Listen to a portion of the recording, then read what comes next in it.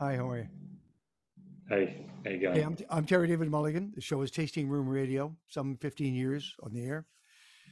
Uh, you are Tim Dolan, and you are the winemaker at, at Peter Lehmann, Barossa Valley, uh, Australia.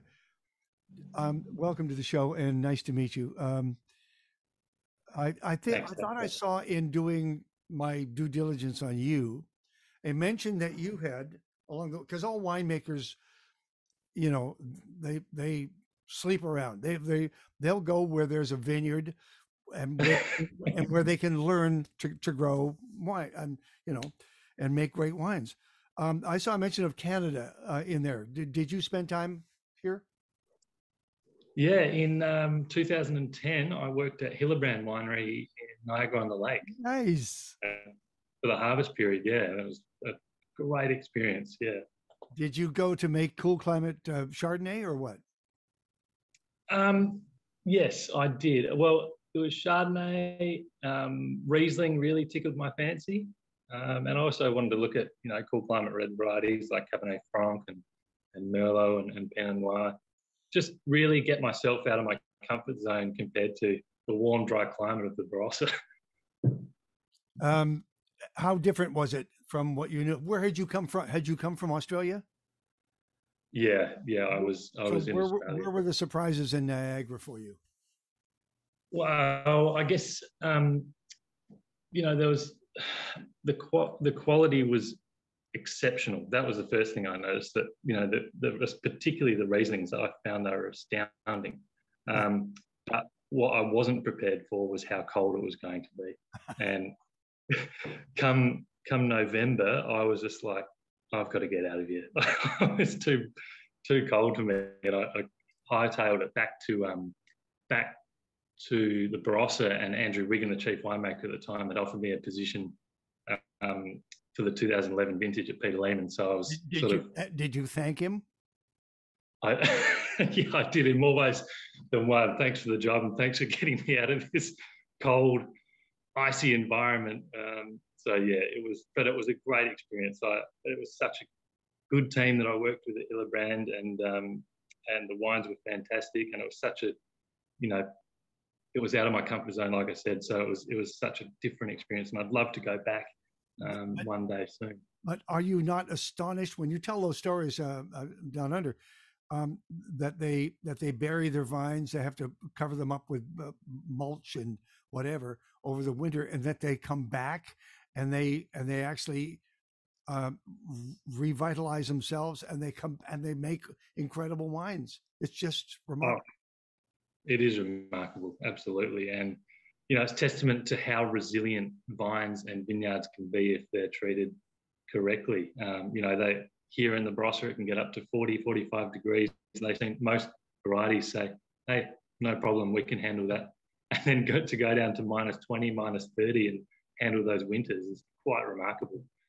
Did you like our reds? Did you like the Cab Francs? Did you like the Petit I did. Yeah, I, I did. I love them, um, And, and the sparkling as well. Yes, and and did they tell you about the Okanagan, which is basically what I'm, uh, uh, uh, and of course Vancouver Island, all of BC? Did they t- talk about out west? They did a lot, yeah. And I've, I have visited, I've driven through Kelowna on a bit of a road trip after a friend's wedding, uh, but I haven't spent enough time visiting the wineries on, on the west coast. So that's that's the next mission. Well- I love Canada. You may not want to move again, but it would be great to have you here. Um, uh, what do we, what the the the wine fan? They they know the name Peter Lehmann. They they know it. It's a brand. It's brand, branding, as you know, is everything. Um, was there one particular vintage that the label made its name on, or is it a, uh, uh, the- the years experience, many many years of one year after another coming in with great uh, releases? Um, I think it's it was probably there's probably two significant moments in the in the lifetime of the, the company that really stood out that I think really stand out for me. And the first one was obviously when the company was founded, its inception in 1978, 79, um, when Peter Lehmann was was sort of going through some very tough times um, with an oversupply in the industry, um, and the company that owned um, the, com- the, company that he was working for, Saltram, um, the company that owned Saltram, decided that they didn't want to take any any grapes for the following vintage. Um, and Peter Lehmann said, "Well, I can't really do that. I've been working with this company for 20 plus years. These growers, this is their livelihood."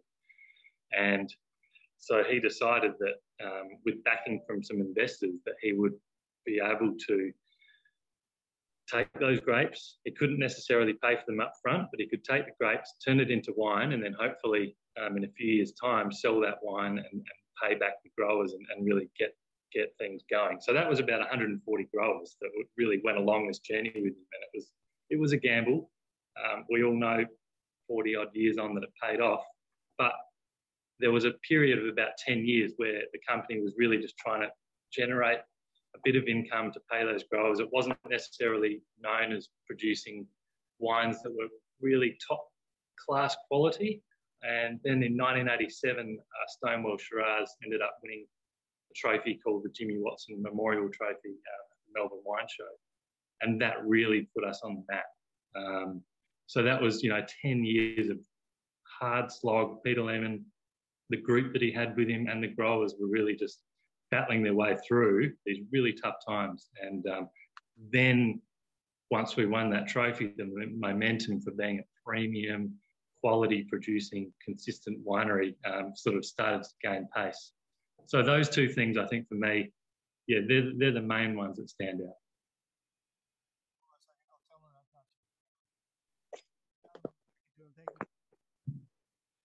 I've lost you. Sorry. Okay. I, uh, I had turned my uh, my uh, microphone down so I could uh, hear a little bit more of you in the, the speakers. Um, I made a note here. Uh, we have two wines to talk about. Let, us talk about the Chardonnay to begin with. Um, but some of my notes, just I want to make sure that they're up to speed. Uh, some 800 vineyard vineyards hand tended. That's a lot of vineyards. Yeah. Um, what was the growing season uh, like for uh, this Chardonnay 2020, 2021? 2021, I think if you talk to any winemaker or vineyard wine grower in Australia, they will talk about it like it's the greatest vintage they've ever had in their, in their lives. And for me and for the team at Peter Lehmann, it's exactly the same. It's just like all the stars aligned. We'd been through 2018, 19, 20, where we'd seen frost, we'd seen heat wave, we'd seen droughts. Um, 2021 came along and it was just great yields, great quality. Um, we could put no foot wrong, and, and certainly with Chardonnay, uh, that was no exception. Wow.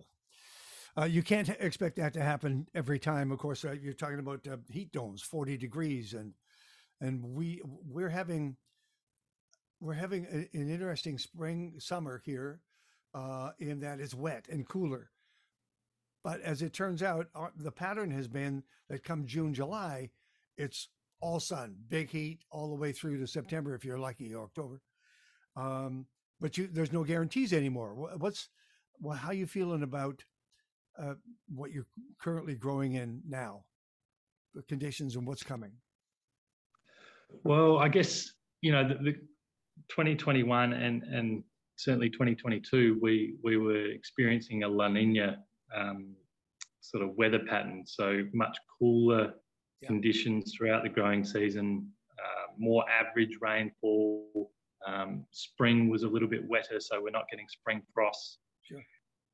All signs point to that we're probably going to swing back to an El Nino weather pattern, which means we're going to go back to those hot, dry, more typical conditions. And so everyone's on their toes a little bit. They're not, they're not you know, so far for 2022, we've had a very wet um, autumn into winter. Um, so, you know, time will tell, but a, a, lot of us are a little bit hesitant thinking, hey, we're going to go back to these extreme heat and dry conditions. Tim Dolan is here talking about the, he's a winemaker and he's talking about uh, Peter Lehmann wines, a Chardonnay and a Shiraz. Um, when the first families came through a couple of years ago, um, all they were talking about was the uh, uh, Australian Chardonnay's reputation around the world and how it, it had been overtaken by other countries. Um, uh, the buzz. You guys know how to sell your wines, but the wines were seem to be have been stuck in a sort of a an oak vacuum.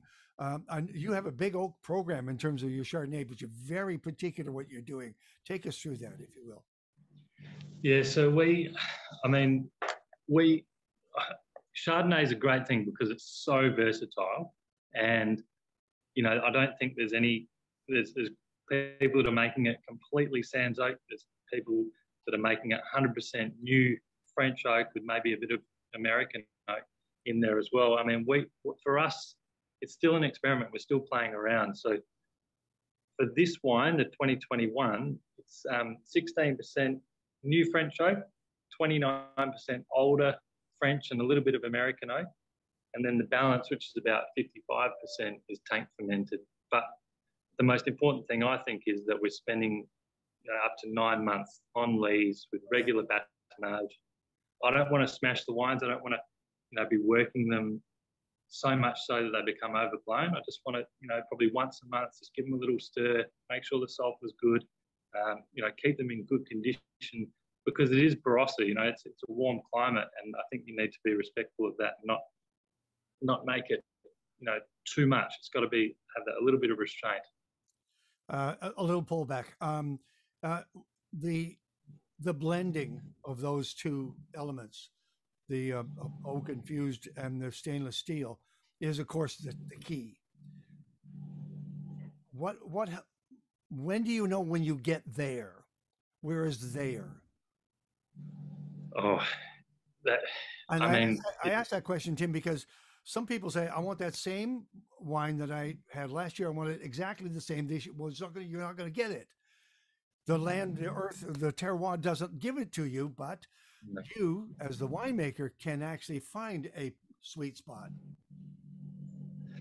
Oh, it's uh, this wine out of probably all of the wines that we make at Peter Lehmann, which is a lot, is the one I'd be tasting the most because if you're making a Riesling or a Semillon, it's fermented in tank and you're, you're in, in, on a, in a race to get it into bottle. That's it. You don't think about it, about retaining that freshness.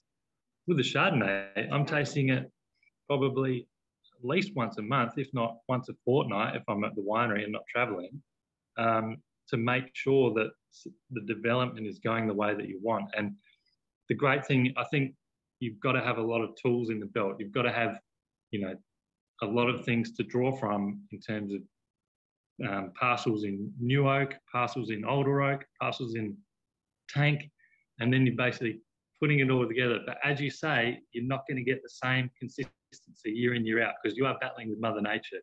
And that is the art of winemaking, right? that is an art, right? Now, one thing, um, it's straw colored. It's beautiful. It's go- gorgeous in the glass, except it's a green bottle. Why? I I know it's tradition, but I just kind of wonder why it's still there and why not? Is there a is there an offering? Do they once a year do they talk about maybe doing a clear bottle? Um, I think it was probably we do another Chardonnay from the Eden Valley, which is in in a similar um, shape and color bottle. So I think it's probably just that consistency. Okay. I, I certainly wouldn't be adverse to, to a clear bottle, um, but it also probably is in keeping with the rest of the Barossa range, which is sort of a bit more of that, that darker um, antique green in color. Uh, and you can't miss the nose, Tim. Uh, wonderful ripe fruit in there, a citrus. Um, uh, I saw the note go by about nutmeg. I I, I missed the vanilla, but I, I got the nutmeg because that that's on my that's on my espresso every morning. Um, it's a beautiful Chardonnay, and and and proudly uh, from the Barossa Valley. Is this um, is this all floor floor growings? All valley floor. Yeah, all valley. Yes. Are you yep. starting to work your way up into uh, altitude to to get away from the from the heat? We are. Um, typically, you know, most of the, the top quality Chardonnay is coming from Eden Valley, which has has much higher elevation and um, the sort of soils are a bit more better suited to, to Chardonnay. But the thing that we focus on with Valley Floor Chardonnay is looking at certain clones. So the Bernard clone um, makes its way into this blend, uh, quite a significant portion. So you're looking at a little bit more of that hen and chicken, quite low yielding, um, and the, you get great acid retention, uh, which is very important in the Barossa, as we talked about being quite warm and dry. Um, it's about holding that acidity. Uh, did they tell you your price point in Canada? They did. Um, I have it on my computer here. Uh, just for reference, the Barossa Shiraz is twenty one ninety nine. I don't have the, the Chardonnay. I believe it's about that nineteen ninety nine. That's fantastic. You made enough for everyone. Well, the good thing for you is that it's exclusive in Canada. So it's, it's genuinely not being sold anywhere else in the world at the moment. Um, uh, we've tapped out at about 4,000 dozen, so we've, made a little bit more out of 2022 on the hope that we'll get some listings in, in the UK and possibly Europe and, and then look domestically. But for the for the first um, vintage of this wine, it's actually exclusive throughout Canada. Are we a testing ground, or or did we ask for this? How did that work? You you um, you asked for it, so it's basically um, off the back of demand, and I, I, was more than happy to help out because uh, you know it's been a passion project of mine. Actually, there's another winery I think in uh, uh, Sonoma, uh, Beringer. They do. They also do a a Chardonnay specifically for Canada. It's weird. That's that's a great connection. I love it. Listen, we're going to take a quick break here because uh, we're going to come back and talk about the Shiraz. He's Tim Dolan. He is the winemaker at Peter Lehmann uh, Barossa, and this is Tasting Room Radio. I'm Terry David Mulligan. Uh, if you know your wines at all, even if you're a casual wine fan, you will know the name Peter Lehmann Barossa, the Barossan Shiraz. Uh, you will know the label. You will know even the cap. For God's sake, it's it's a it's a very distinctive label, and a very distinctive um, wine. It is unique unto itself, which is, a, as you well know, having you know uh, traveled the way you have, to actually have a wine, a Shiraz, for example, from Australia, from anywhere, but Australia in particular, that is distinctive, is it is just a godsend. You're not like everyone else. You're one of a kind. How did this come about? So the first vintage of the Barossan Shiraz was 2015, and this was just after um, John Casella of Yellowtail fame, um, the managing director, had, had just purchased Peter Lehmann at the end of 2014. So he was keen to make his mark on, on the company, and, and he was very quick to trademark the name The Barossan, which I think, you know, typifies exactly what Peter Lehmann was all about. You know, he was sixth generation Barossan. He'd been making wine in the Barossa for what 40 odd years. Um, he's, he's, known as the saviour of the Barossa. He's put the Barossa and Australian wine on the map globally. Um, so all things sort of led to this wine uh, in the Barossa, and we, we launched in 2015 with Shiraz. And the idea behind it was that it would be, I think, an iron fist wrapped in a velvet glove, so that you get all the power that we know Barossa Shiraz delivers, but you get a beautiful, soft, elegant finish. It's not going to blow your socks off. It's not 16% alcohol. That's not the way we wanted to go. It was about drinkability. Sure. Um, and I think that's the main focus for this wine is freshness, drinkability, and approachability. And good barrel work. Is it lots of, of, barrel work? A lot of new barrel. About twenty five percent new American oak and then the balance into older oak. So all all um, aged in, in 300 litre hogsheads. And how was the uh, the uh, growing season for this uh, this uh, 2019 Shiraz? 2019 uh, is regarded as a very good quality vintage. It was it was quite hot, quite dry, so the yields were, were way down on average. But you uh, got but some rain, you, got, you got some rain along the way, did you not? There was a little bit of rain, um, so that that kind of helped things. We, we often see a, a little bit of rain in summer into, into early autumn, and that usually freshens things up. That's quite regular. You don't want too much rain, obviously, at that point, so everyone's sort of on, on tenterhooks. But um, the thing was that, that that sort of cools things down a little bit. It allows grapes to freshen up. and the quality out of 2019, particularly for reds and Shiraz, is exceptional. Um, so this wine, you know, I don't, I don't typically say, you know, age this wine for a long period of time, but 2019 with the quality that it is, I'd probably go at least five to eight years for this wine. Five to eight.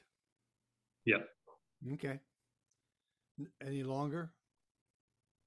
If you want, I mean, for me personally, I I would drink it in more in its youth when it's still fresh. But if you if you're liking those sort of age characters, I'd go up to ten years. Um, I I noticed there was a mention of uh, uh, uh food pairing with it because we're in a bar- barbecue season now, and and uh, it was recommended. Uh, uh, I think a beef burger. I didn't understand some of the Australian terminology for the side plate stuff that was supposed to be around. I think crackers were involved. Um, but you know how we here eat in Canada? It's mac and cheese, it's burgers, it's salmon, it's uh, um, steak. Uh, it it has its place. I mean, it's a Shiraz for Pete's sake. It travels mm. well. Yeah, absolutely. I mean, one of my favorite foods, you know, when, when I like to spoil myself is is get a Scotch fillet and put it on the barbecue, medium rare, um, and and just keep it really simple with some roast vegetables. I think you know you can't really go wrong. Um, so that that's my go-to. I miss you hiccup when you mentioned the food. What what did you want to put on the barbecue? Oh, sorry, just a, a Scotch fillet. Oh yes, which um, it might this might be a little heavy for salmon, but I mean if you're if you're crusting it and barbecuing it and giving it some smoke, why not? Why not? We're going into barbecue season uh, and with salmon season as well. Just the water's right there. Um, uh, this is not exclusive to Canada. This is a worldwide wine, is it not? Yeah, it's it's available globally. Uh, you can pretty much find it everywhere, and quite predominantly in the, on the domestic market. I was saying that it is. It's. I I actually talked to myself when I first tasted it, and I thought, I understand this now. I understand. I, I, I remember talking to Peter a long time ago. Um, I understand why it's so successful again, because it's distinctive, it's singular. And there are thousands of wines in the world. If you can become a singular wine, you have absolutely hit the jackpot. And you have. It's fantastic. Is it is it difficult in the blend? Does it is it is it a painstaking process? We're, well, it's funny you say that because we're actually blending this the 2022 of this wine uh, this morning. So after I jump off this this interview, I'll be going straight into the tasting lab, and it's going to take about a day to put all the components together, and then from there it's back in barrel for 14, 15 months. So Tim, what's the democracy in that day? Who actually makes that final call? There's four winemakers and it's completely democratic. So we all have a 25% say. Um, as you can imagine, the debate can get heated. Most of us are, are pretty diplomatic, but sometimes the foot gets put down. um, you know, we we quite quite strong in our opinions from time to time. So yeah, it can it can take a while, but this is a big blend, so there's a lot of components going and the, ne- the next one coming up is even better. I, I would assume they all just get better and better. Now, is there anything coming that you want to tell us about? You want to tease us, tease us about? So, I think um, you know we're going to be pretty strong with the Barossa Chardonnay. So that's that's the next phase is to continue the growth of Barossa Chardonnay, particularly throughout Canada. Yeah. Um, we've got a a portrait Shiraz, which is probably in Canada three or four dollars cheaper than the Barossa Shiraz that we're going to look to relaunch. Um, we've got some new packaging for that wine, and that's sort of quintessential classic Peter Lehmann, um, a little bit less oak, um, slightly fresher.